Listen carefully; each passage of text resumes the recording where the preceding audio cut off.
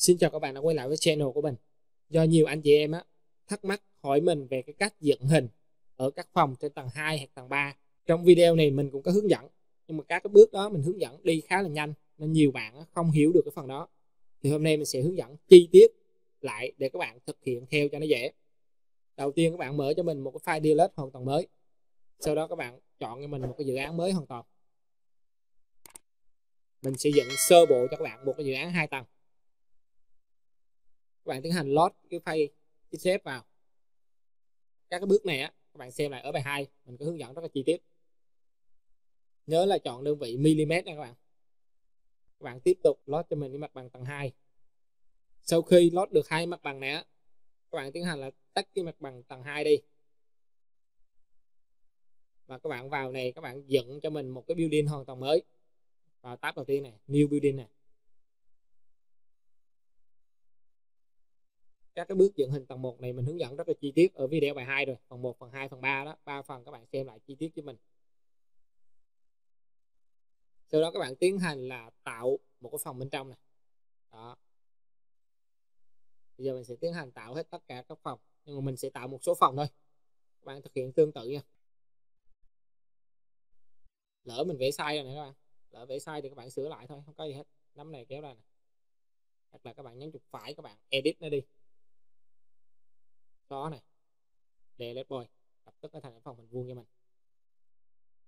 Tương tự các bạn dựng cho mình các cái phòng còn lại.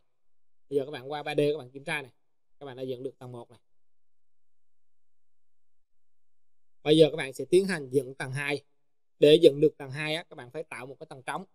Nhớ nha phải tạo một tầng trống. Đầu tiên các bạn vào cho mình cái tab store này. Các bạn tạo cho mình một cái tầng trống này new này. Thì nó sẽ tạo cho mình một cái tầng trống hoàn toàn này tầng 2 các bạn thấy không? Bây giờ các bạn sẽ tiến hành là mở cái xếp tầng 2 lên. Đây, chọn vào đây.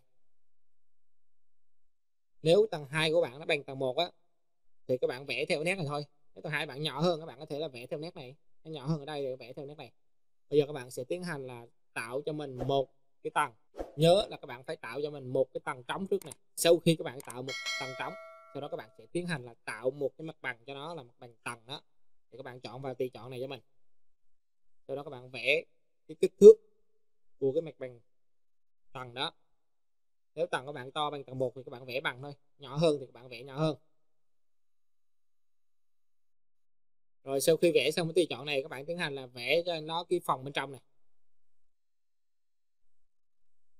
Các bước này hết sức đơn giản, các bạn thực hiện đúng trình tự là các bạn sẽ làm được.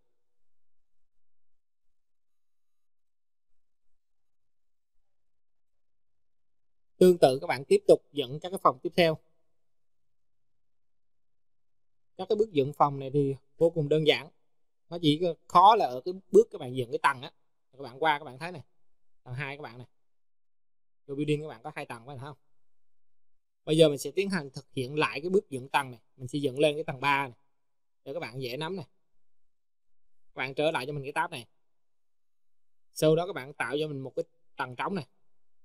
Bước đầu tiên là vào tab này, bước thứ hai là tạo cho mình cái tầng trống này. Bước thứ ba là các bạn bật xf lên nếu các bạn có. Giả sử như ở tầng này mình tự dựng tầng 3 không có xf đi thì mình không cần bật lên. Còn nếu các bạn link file kết vào thì các bạn bật lên để các bạn thấy kích thước. Bây giờ mình sẽ tiến hành là vẽ một cái mặt bằng tầng. Tầng 3 mình vẽ nhỏ thôi, bây giờ mình không vẽ to bằng nữa, vẽ nhỏ thôi.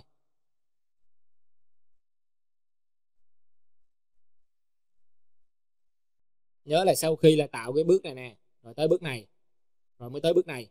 Đó, các bạn thực hiện tương tự từ dưới lên trên.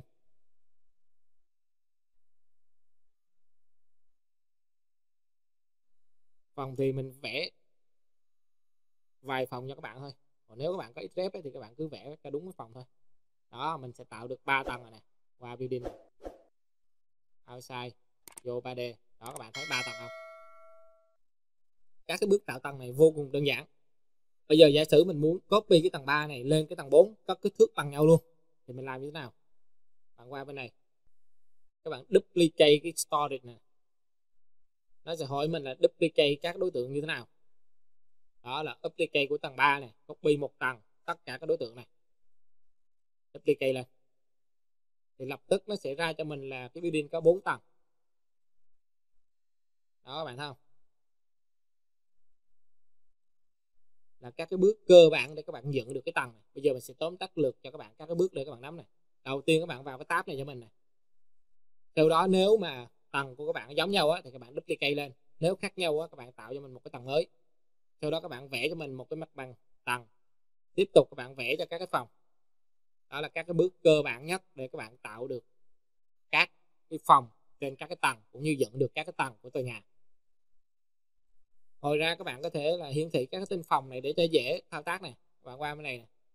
Và hiển thị tên phòng này nha. Bật tắt tên phòng. Rồi các cái bước cơ bản dựng á, thì mình đã hướng dẫn chi tiết cho các bạn rồi. Các bạn có thể xem đi xem lại để các bạn dựng cho nó phù hợp. Nếu các bạn vẫn không dựng được á, thì các bạn có thể comment bên dưới mình sẽ giải thích thêm cho các bạn. Và các bạn cảm thấy video này hay á, thì các bạn nhớ đăng ký kênh của mình. Like và share các video trên kênh giúp mình. Xin chào tạm biệt và hẹn gặp lại.